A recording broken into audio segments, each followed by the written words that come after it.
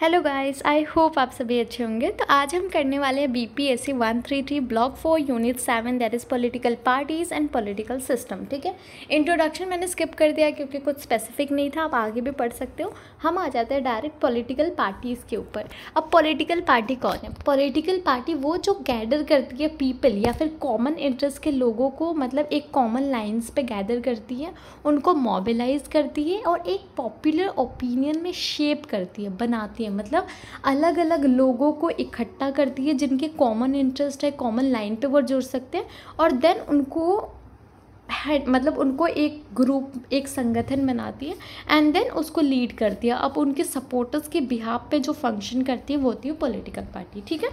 However अगर आप till mid nineteen century के मतलब मिड नाइनटीन सेंचुरी के पहले के टाइम का आप देखो मतलब उतने टाइम तक तो वो उन्हें ज़्यादा मतलब एक हार्मफुल एंटिटीज़ की तरह देखा जाता था ओपोज करते थे वो, या फिर जो भी इंडिविजुअल लिबर्टी कॉमन गुड इस चीज़ पर फोकस थी, ठीक है? बट आफ्टर अगर आप देखो जो भी सिविल राइट या जो भी हमारी इलेक्ट्रल फ्रेंचाइजी हमें जब मिली थी कि सारे लोग वोट कर सकते ये सारी चीज़ें जब इम्प्रूव हुई थी, तब वो चीज़ें पर्सपेक्टिव थोड़ी बहुत चेंज हुई थी। लाइक आप देख सकते हो कंपैरेटिव पॉलिटिक्स के पर्सपेक्टिव पे ऐसा था कि इसका मतलब है एक कंटिन्यूटी ऑफ़ ऑर्गेनाइजेशन मतलब पॉलिटिकल पार्टी का मतलब होगा कंटिन्यूटी इन ऑर्गेनाइजेशन या फिर एक मैनिफेस्ट ठीक है, या फिर एक परमानेंट ऑर्गेनाइजेशन जो कि एक लोकल लेवल पे बनाई गई है फॉर द पब्लिक वेलफेयर ठीक है।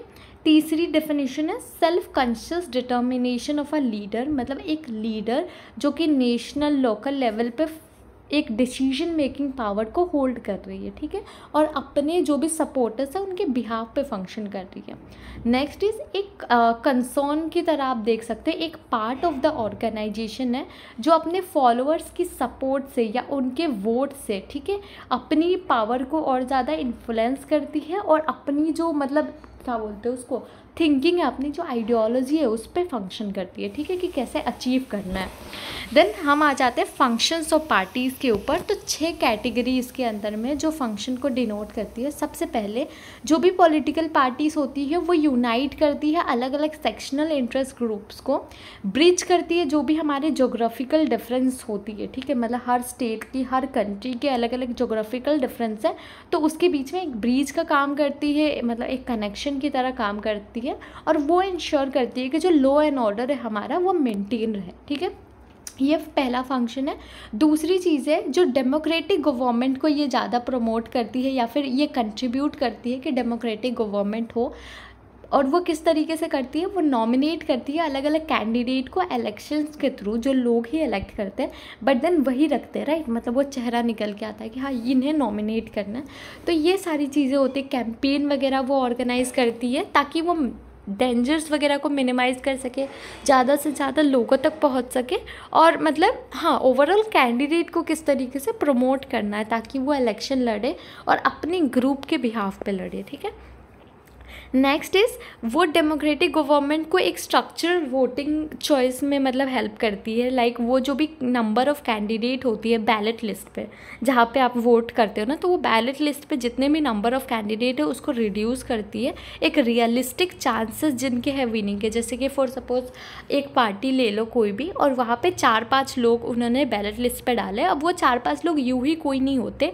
वो वो लोग होते हैं जो पार्टी को लगता है कि इनके चांसेस ज़्यादा है जीतने के, ठीक है, जिनके पास ज़्यादा होते हैं, या तो उनके पास्ट इलेक्शन में बहुत ज़्यादा वोट वगैरह आई है, या तो इन फ्यूचर हाँ वो आप बोल सकते हैं पास्ट प्रेजेंट फ्यूचर ये सारी चीज़ों को देखा जाता है डिटरमाइन किया जाता है कि किन के चांसेस ज़्यादा, जिनके ज़्यादा होती हैं, उनको रखा जाता है, ठीक है?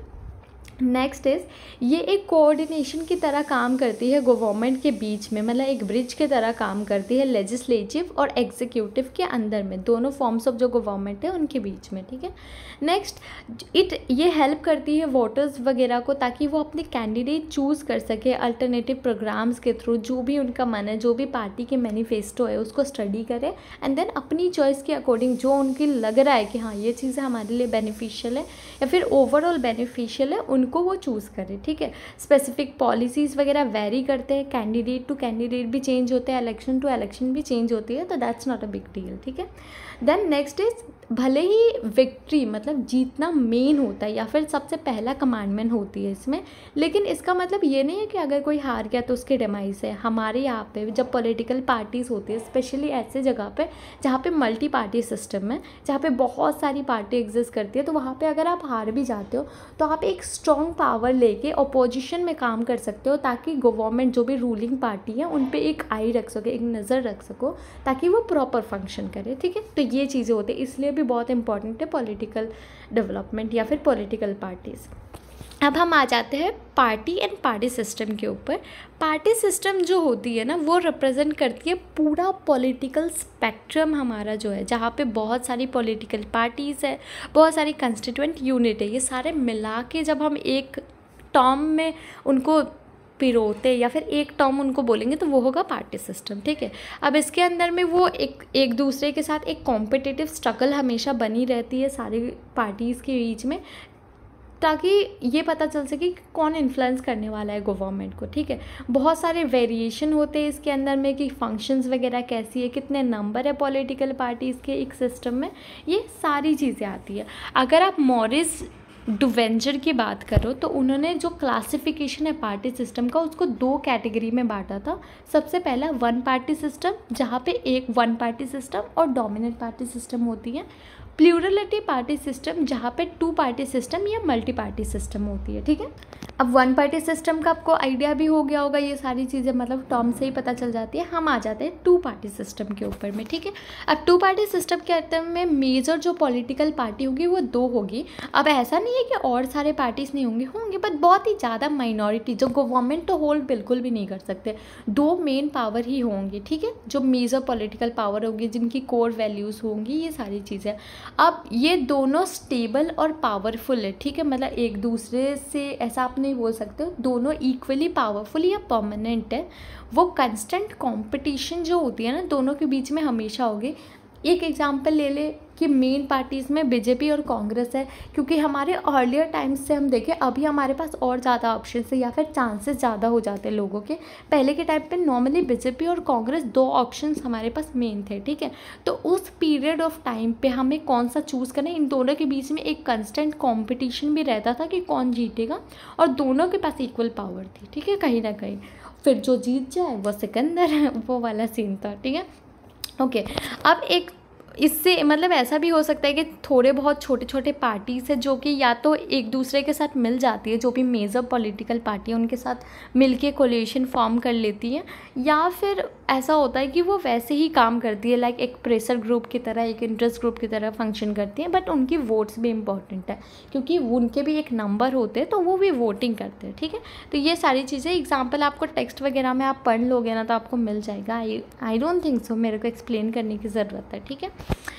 हम आ जाते हैं मल्टी पार्टी सिस्टम के अंदर में। अब मल्टी पार्टी सिस्टम में बहुत ज़्यादा मतलब बहुत सारी number large number of parties होती है, चाहे वो बड़ी है या छोटी है, जो इलेक्शन के लिए पार्टिसिपेट करते हैं। जैसे अभी के टाइम पर सारी पार्टीज़ लाइक आम आदमी party Bharatiya Janata party Congress and अब बहुत सारी पार्टीज़ है ना, वो सारी पार्टीज़ होती है, ठीक है? अब इसमें पार्टीज़ वगैरह को कितनी सीट्स मिल रही है ताकि वो गवर्नमेंट फॉर्म कर सके, वो सारी चीज़ें देखी जाती है। अगर इनकेस ऐसा होता है कि इलेक्शन के टाइम पे कोई भी पार्टी वीन नहीं करती है मेजोरिटी तब कोलिशन गवर्नमेंट बनती है। कोलिशन गवर्नमेंट के बारे में हमने प्रीवियस चैप्टर्स में भी पढ़ी है और आई गेस पॉलिटिक्स के बारे में इतना तो लोगों को आइडिया होता है तो एक्सप्लेन करने की ज़रूरत नहीं है। बाकी अगर फिर भी एग्ज़ाम्पल चाहिए तो टेक्स्ट में पढ़ लेना, ठीक है? हम आ जाते हैं वन पार्टी सिस्टम के अंदर में। तो वन पार्टी सिस्टम के अंदर में सिर्फ़ एक पार्टी होती है जो पावर होल्ड कर सकती है। बिसाइड्स बहुत सारी छोटी छोटी पार्टीज़ होती है बट उन्हें एग्जिस्ट करने के लिए अलाउ नहीं किया जाता। स्पेशली लाइक like, वैसे कंट्रीज़ में जहाँ पे राजाओं वाली सिस्टम चलती है या फिर एक ही पार्टी होती है जो गवर्नमेंट फॉर्म करती है। भले उसका लीडर चेंज होगा मतलब फॉर सपोज़ एक ही पार्टी है कम्युनिस्ट पार्टी ठीक है? मान लो कि चाइना की कम्युनिस्ट पार्टी है। अब उनके लीडर जो है, जो गवर्नमेंट को वो करेंगे, वो चेंज चेंज हो सकते हैं बट पार्टी वही रहेगी पार्टी और कुछ चेंज नहीं हो सकती है, ठीक है? तो इस तरीके से होती है। देन हम आ जाते हैं डोमिनेट पार्टी सिस्टम के अंदर में। तो इसमें बहुत सारी सेवरल पार्टीज़ होती है जो एग्जिस्ट करती है, लेकिन सिर्फ़ एक ही पार्टी के अंदर इतनी कैपेबिलिटीज़ होती है कि वो गवर्नमेंट फॉर्म कर सकते हैं। अब इसमें जो बाकी सारे पार्टीज़ होते हैं, उनके पास बहुत ही रियर चांस होता है कि वो पावर में आए, भले ही वो डेमोक्रेटिक ट्रेडिशन से रूटेड हो मतलब भले ही कंट्री डेमोक्रेटिक ट्रेडिशंस को फॉलो करती हो, लेकिन फिर भी जो माइनॉरिटीज़ पार्टी है वहाँ के, वो चीज़ें नहीं, वो पावर में नहीं आ सकते, ठीक है? अब इनकी इमर्जेंस जो इन्फ्लुएंस होती है, कुछ फैक्टर्स के वजह से होती है। हो सकता है कि मास सपोर्ट या पॉपुलैरिटी है। हो सकता है हिस्टोरिकल लीनेज है, उनका पहले के टाइम से चलता आ रहा है, या फिर बहुत ज़्यादा स्ट्रॉन्ग लीडरशिप या स्ट्रॉन्ग ऑर्गेनाइजेशन है। बहुत सारे सपोर्टर्स हैं, ये सारी चीज़ है। इसके एग्ज़ाम्पल में आई वुड से जो कांग्रेस का डोमिनेंस था इंडिया में, ठीक है 1952 से 1967 तक लेके तो ये भी आप एक तरीके से डोमिनेंट पार्टी बोल सकते हो। उस पीरियड ऑफ़ टाइम के लिए। और अगर आप करेंट टाइम्स में बीजेपी की सिनारियो देखो कि वो भी दो बार से जीत रही हो और आगे नो आइडिया बट ये जो है तो करंट लाइन में बीजेपी को भी एक एग्ज़ाम्पल की तरह माना जा सकता है डोमिनेंट पार्टी के लिए, ठीक है? तो ये वैसा होता है कि वो टाइम टू टाइम चीज़ें चेंज हो जाती है इसमें और ये सारे पार्टीज़ लड़ सकते हैं इलेक्शन वगैरह, ये सारी चीज़ें होती है, ठीक है? वो पॉपुलैरिटी की वजह से होती है सारा। देन हम आ जाते हैं trends in evaluation of party organisation ठीक है? अगर हम अर्ली स्टेज की बात करते हैं मतलब पहले के टाइम पर जो हमारी पार्टीज़ वगैरह थी, वो इंटरनली क्रिएट होती थी मतलब पार्लियामेंट के अंदर अंदर ही वो क्रिएट या फिर बनाई जाती थी ताकि वो कॉमन कंसर्न्स के ऊपर या फिर एक इफ़ेक्टिव कैंपेन के लिए फ़ाइट कर सके, ठीक है? उनको रिफ़र किया जाता था कैकस पार्टीज़ के रूप में, ठीक है? इनका एक नाम था ना केकस पार्टी केकस कोकस जो भी बोलते होंगे तुम लोग, मैं केकस बोलूँगी तो कोई मज़ाक मत उड़ाना, ठीक है? ओके तो जब नेशनलिज्म राइज हुआ first half of twenty century में और जब अडल्ट फ्रेंचाइजी की जो चीज़ें थी मतलब जो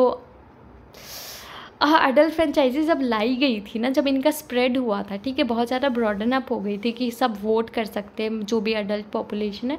तो उस टाइम पे जो मास पार्टीज़ वगैरह है ना, या फिर लार्ज मेंबरशिप वगैरह की चीज़ें आई थी, जहाँ पे सेंट्रलाइज पावर हायरार्किकल फॉर्म के ऑर्गेनाइजेशन आए थे ब्यूरोक्रेटिक ऑर्गेनाइजेशन आए थे मतलब ढेर सारी पार्टीज़ अपनी अलग अलग व्यू पॉइंट्स के साथ इमर्ज हुई थी, ठीक है? अब ये ओरिजिनेट होती थी आउटसाइड ऑफ़ द पार्लियामेंट मतलब पार्लियामेंट के बाहर। पहले के टाइम पर तो पार्लियामेंट पार्लियामेंट के अंदर ही होती थी एक पार्टी कि हाँ ये बना लिया। उसके बाद, ठीक है ट्वेंटी सेंचुरी के half of the twenty century के बाद ये चीज़ें होने लगी थी। वहीं अगर आप बात करते हो मिड ट्वेंटी सेंचुरी की अगर आप बात करते हो तो जो भी वेस्टर्न डेमोक्रेसीज होती थी, वो डोमिनेट होती थी कोई एक पर्टिकुलर पार्टीज़ के थ्रू ठीक है? मतलब जो भी पार्टीज़ होती थी, वो कन्फाइन करके रखती थी अपनी अपील को एक पर्टिकुलर सेगमेंट ऑफ़ पॉपुलेशन तक, ठीक है? उनको डिफ़ाइन किया जाता था उनकी सोशल क्लास बेस के ऊपर लाइक उनका सोशल क्लास बेस क्या है मतलब ठीक है? तो उसके बेसिस पे उनका तय किया जाता था या फिर उनको डिफ़ाइन किया जाता था, ठीक है? बट अगर आप later half of the twenty century की बात करो मतलब ट्वेंटी सेंचुरी के हाफ़ के बाद, ठीक है? तो वहाँ पे यूनिवर्सल अडल्ट फ्रेंचाइजी आई थी जिस जहाँ पे पॉलिटिकल पार्टीज़ एक कैच ऑल ऑर्गेनाइजेशन की ओर फोकस करने लगी थी मतलब वो एक स्पेसिफिक सोशल ग्रुप को नहीं टारगेट करती थी, वो ओवरऑल सोशल ग्रुप को टारगेट करती थी सारी, ठीक है? एक रेनबो कॉलेशन की तरह मतलब जहाँ पे wide variety of social groups होगी। इवन अगर आप रिसेंट के टाइम की बात करते हो रिसेंट पास में तो इन्फॉर्मेशन या ईजी कम्युनिकेशन के फैलने के बाद, ठीक है? बहुत ईजी हो गया था कि हम मतलब हम जैसे जो इंडिविजुअल्स हैं, जो वोटर्स हैं, वो पार्टीज़ के बारे में स्टडी कर सकती है। सोशल मीडिया एक बहुत बड़ा माध्यम बना ताकि वो कनेक्ट हो सके मतलब बाकी के पॉपुलेशन से। तो ये सारी चीज़ें, ठीक है? अब जो सपोर्टर्स है, ये सारी जो सोशल मीडिया का जो कनेक्शन आया था या जो इन्फॉर्मेशन टेक्नोलॉजी ब्रॉड हुई थी, उसके वजह से क्या क्या चीज़ें चेंज हुई थी, ठीक है? सबसे पहली, जो पार्टीज़ हैं, वो एक सोसाइटी लेवल पे ही कन्फाइंड नहीं थी, वो ऑनलाइन प्रेजेंस भी इम्प्रूव कर रही थी और जो भी पार्टीज़ है ना, वो मास या कॉम्पिटिटिव कैरेक्टर को लूज कर रही थी कहीं ना कहीं, ठीक है? सारे सोशल मीडिया पे आ रहे वो कर रहे ये सारी चीज़ें हो रही थी, ठीक है? तो हाँ ख़त्म हो गया। ओ शिट इतनी जल्दी। हाँ लाइक आप बोल सकते हो कि नॉर्मली उसके आने के बाद, ठीक है, जो सपोर्टर्स होती थी, वो डीपली कनेक्टेड नहीं रहती थी सोसाइटी को, क्योंकि आप अभी के टाइम पे भी एग्जांपल ले लो ना तो जो हमारी जेंजी पॉपुलेशन है। चलो जेंजी नहीं बोलते हैं बिकॉज़ बहुत ही डिबेटेबल टॉपिक या वैसा हो जाए क्योंकि हम भी वैसे ही, अगर हम मिलीनियल भी है, तब भी वैसे ही है। जेंजी है, तब भी वैसे ही है, ठीक है? मानो ना मानो कुछ लेवल तक हम हैं, ठीक है? तो लेकिन इतना है कि हम जब से सोशल मीडिया से जुड़े हुए हम काफ़ी ज़्यादा सोसाइटी से अलग नहीं हो गए।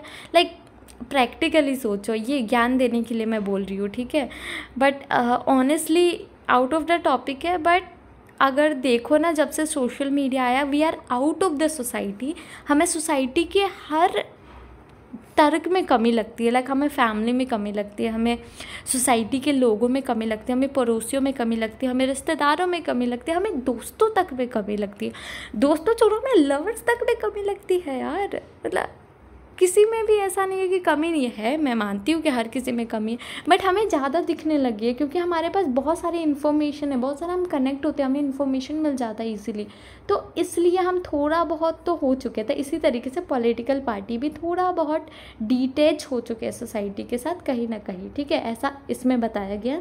और जो मास या कॉम्पिटिटिव कैरेक्टर होती थी पार्टी की, वो भी हट चुकी है कहीं ना कहीं। जो ज़्यादा लोगों तक पहुँच गया, वो सिकंदर, ये वाला सीन है, ठीक है? तो इस चैप्टर में इतना ही। आई होप आपको सब समझ आ गया होगा। नहीं आया, कुछ प्रॉब्लम है, कोई कन्फ्यूज़न है तो कॉमेंट सेक्शन में पूछ सकते हो। नोट्स आपको हमारी साइट पर मिल जाएगी। तब तक के लिए बाय टेक केयर